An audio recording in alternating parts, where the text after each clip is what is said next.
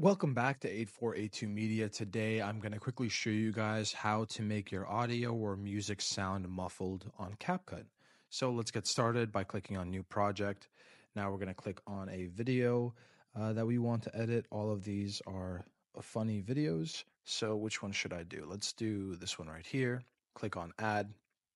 And now to get the uh, muffled voice effect, we're going to click on the video itself and then scroll to find the um where is it?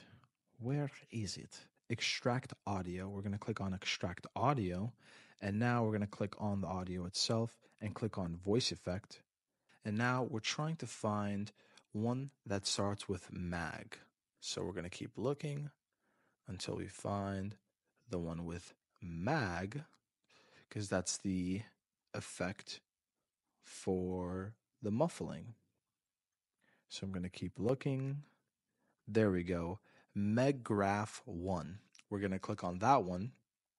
And now we can mess with the strength of it and press the check mark on the bottom right. And that's how you add a muffled effect to your audio or music in CapCut.